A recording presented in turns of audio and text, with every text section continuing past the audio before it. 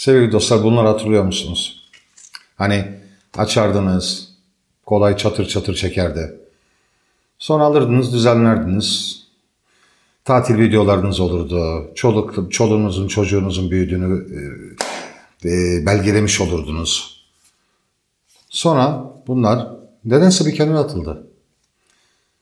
Ve ben sonra fark ettim ki bu daha işte sözüm ona profesyonel kameralara geçtikçe gündelik videolar çekmekten vazgeçer oldum.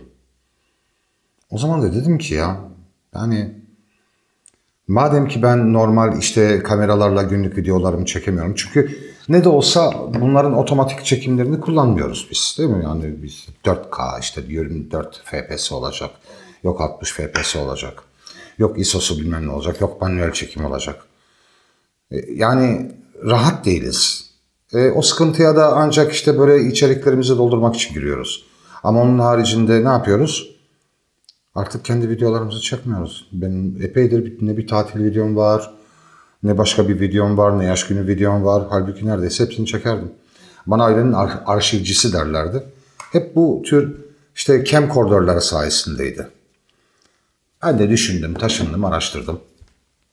Şimdi bana Fuji'dekiler çok kızacak ama ne yazık ki fiyat performans aralığında ve benim beklentilerimi karşılayan şöyle bir cihaz buldum. Sevgili dostlar bu cihaz Sony ZV-1. Bu 4K 30 FPS'ye kadar video çekebilen ee,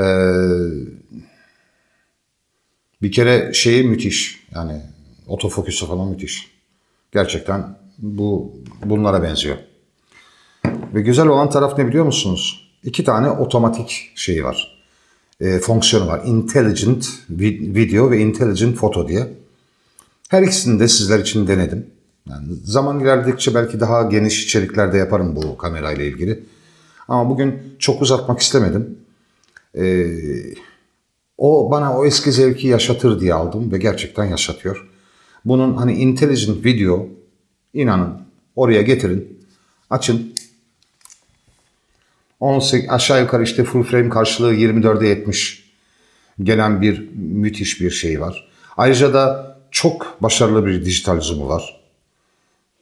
Müthiş bir otofokusu var. Harika bir alet yani. Ee, gelin neler çektik ona bir göz atalım. Önce video. Ve şey yaptım yani şu üzerindeki kendi sesinden e, hiçbir şeye dokunmadım. İki video göreceksiniz. Bir tanesi tamamen makineden çıktığı gibi yani standart profili ile.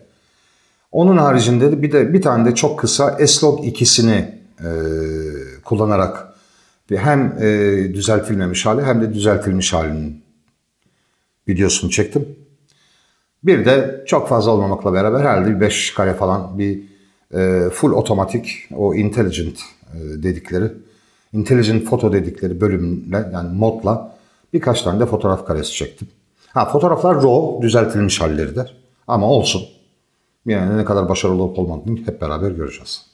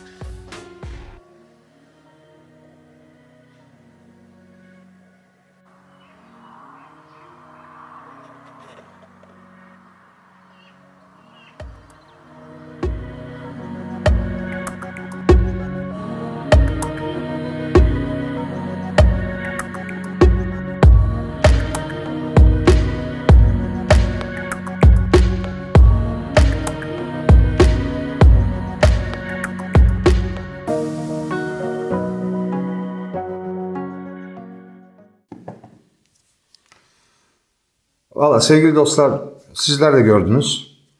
Yani ölçüsü itibariyle ve becerisi itibariyle ve doğrusunu isterseniz de fiyat performans olarak müthiş bir kamera. Alın cebinize sokun.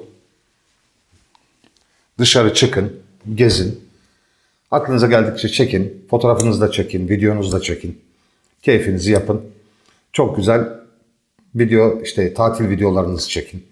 Keyif videolarınızı çekin. Çocuklarınızın büyüdüğünü görün. Onları belgeleyin. Ama fotoğraf için ben herhalde benim ilk tercihim olmaz. Bu yalan söyleyecek halim yok. Ama ilerleyen haftalarda eğer arzu ediyorsanız ZV1 ile ilgili, menüsüyle ilgili, ayarlarıyla ilgili daha geniş içerikler yaparım. Valla umarım bu kısa içerik hoşunuza gitmiştir ve beğenme butonunu hak etmiştir. Hala abone değilseniz lütfen abone olun sevgili dostlar ki bu aileyi hep beraber daha da geniş bir hale getirelim ve bu içerikleri daha geniş kitlere hep beraber ulaştıralım. Şimdilik huzurla kalın, sağlıkla kalın, hoşça kalın. Ben Erdinç Omaç. Fotoğraf çekmek kolay, bugünlük de bu kadar.